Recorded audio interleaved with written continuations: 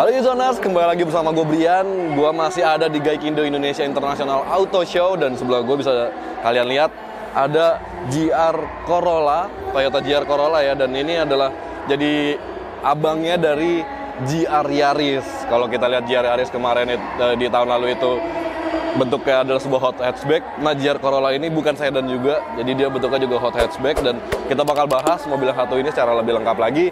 Makanya jangan ke mana-mana, tonton terus video ini sampai habis.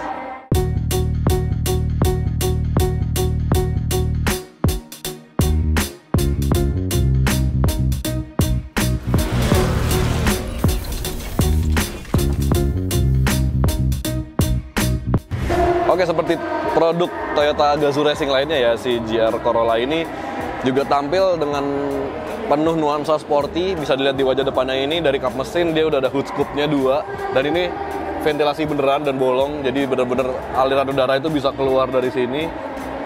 Ya kan, terus di bagian depannya ini wajahnya tuh sedikit lebih agresif dari si GR Yaris gitu. Kalau GR Yaris kan kita tahu lampunya di sini agak membesar gitu ya, menggembung. Tapi kalau dia bentuknya bener-bener tajam banget terus dia pakai LED proyektor di lampu utamanya. Turun ke bawah dia ada grill warna hitam dan di bawahnya itu ada bumper yang udah ada spoilernya kecil gitu ya. Terus ada logo GR seperti biasa di bagian kiri sini dan ternyata nggak bolong guys. Oh yang bolong yang bawah. Yang atasnya nggak bolong kita lihat ke sampingnya yuk. Terus di sini bisa dilihat dia pakai pelek multispoke ya, satu warna warna hitam. Dan di belakang peleknya ini kelihatan banget ada pengereman yang lebar banget gede. Jadi kelihatannya ini kalipernya itu seperti BBK big brake kit gitu ya. Terus dia modelnya 5 PCD dan ukurannya sendiri itu 235 per 40 ring 18 jadi buat sebuah hatchback ini bannya udah gede banget udah lumayan. Dan ya belum keluar fender banget sih belum rata fender tapi udah cukup nyetel lah. Terus di bagian sampingnya ini dia ada aero kit lagi jadi ada kayak ventilasi dan ini bener-bener bolong. Nggak cuma pajangan doang dan biasa ada logo GR lagi. Di bagian samping itu ada side skirt juga ada logonya juga.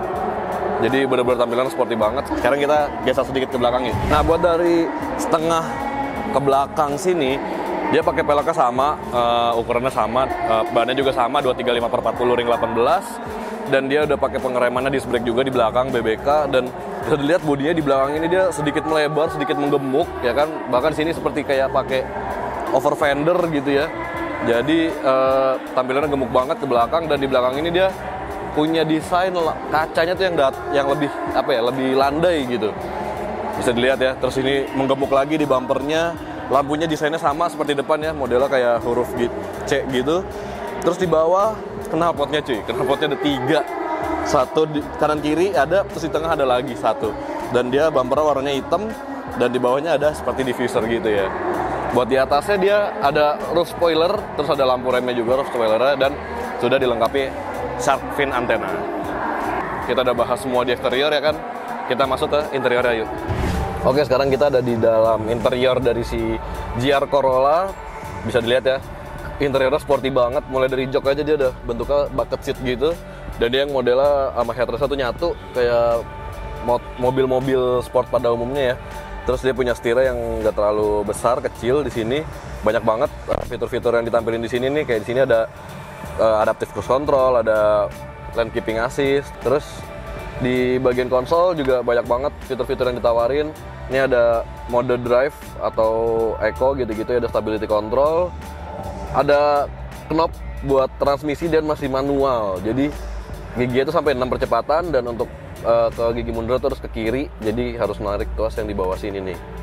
Terus di belakangnya ini ada kayaknya ini pengatur untuk uh, four wheel drive-nya ya. Jadi uh, bisa dipindah-pindah dari sini terus masih pakai rem tangan model mekanis begini jadi kesan sport emang ditunjukin di sini bukan uh, dari fitur ya. Karena kalau kita ngomongin mobil satu miliar pasti ngomonginnya fitur udah parking brake udah elektrik segala macem tapi ini karena sport bahkan rem tangannya pun masih yang model mekanis seperti ini.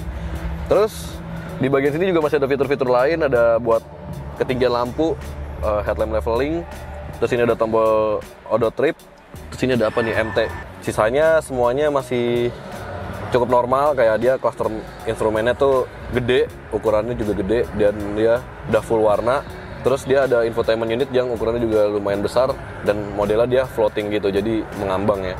Sementara buat pengaturan AC segala macem itu ada di sini dan semuanya masih pakai tombol fisik, jadi buat ngatur tuh bener-bener gampang. Terus kalau buat kayak dashboard ya dilapisin kulit biasa lah ya dan gak ada soft touch, dikit banget soft soft touchnya. Emang dibuild buat sport bukan buat comfort kayaknya. Oke, jadi ini di baris belakang dari Toyota GR Corolla bisa dilihat ya. Ruang kakinya sempit banget. Di sini cuma bisa ya satu jari. Dan headroomnya masih lumayan lah, masih bisa lima jari segini lah gitu ya.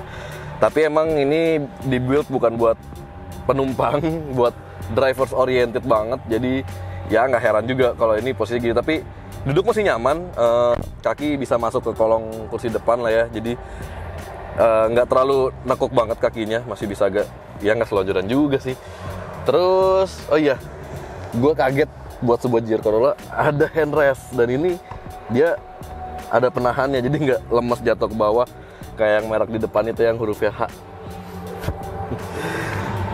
Oke, sekarang kita bahas mesinnya yuk. Oke, ini bagian ruang mesin dari si GR Corolla secara umum dia mesinnya masih sama seperti GR Yaris. Kalau di GR Yaris itu pakai mesin G 16E uh, GTS itu 1600 cc 3 silinder turbocharged. Ini juga sama mesinnya uh, G16E GTS 1600 cc uh, 3 silinder turbocharged. Cuma kalau di Yaris itu kan dia mesinnya sekitar menghasilkan tenaga tuh 240 250 250 horsepower. Nah, kalau di GR Corolla ini mesinnya itu menghasilkan tenaga sampai 300 horsepower dan torsinya itu sampai 350 370 Nm kalau nggak salah. Jadi ini lebih bertenaga, lebih kompak desainnya juga dan jadi salurkan ke empat rodanya secara langsung. Jadi dia uh, 4 WD dan emang secara mesin dan konstruksinya semua itu emang kayak lebih cocok buat rally ya. Dan bisa dilihat di bagian ruang mesin ini dia nggak ada peredam di bagian cupnya cuma ada ya besi-besi gini doang dan udah gitu aja. Uh, tahanan mesinnya juga masih pakai ginian ya. Karena emang mobilnya bukan didesain buat kemewah-mewahan tapi emang buat sporty. Oke jadi itu dia yang bisa kita bahas dari si Toyota GR Corolla ini. Dan dia di Indonesia baru diperkenalkan jadi pihak Toyota Astra Motor juga masih ingin preview dulu gimana respon pasar segala macam banyak nggak yang berminat sama model yang satu ini? Jadi secara harga dia tuh belum dirilis resmi. Tapi kata Toyota Astra Motor mobil ini bakal lebih mahal daripada GR Yaris ya kita bayangin aja ya GR Yaris itu kemarin dijual sekitar 800 jutaan. Kalau di sini mungkin bisa di atas itu mungkin sampai satu miliar mungkin ya. Oke itu aja review kali ini uh, bagaimana menurut Anda? Berikan pendapat Anda di kolom komentar di bawah ya. Dan jangan lupa juga untuk like dan subscribe channel Brem by Yuzon untuk mengetahui review otomotif berikutnya. Sampai jumpa di video selanjutnya. Dadah!